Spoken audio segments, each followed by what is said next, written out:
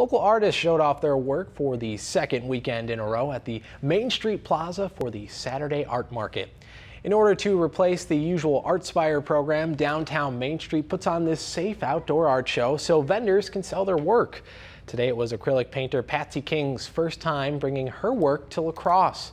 She says they place each vendor six feet apart between the heron statues so people can safely see her work.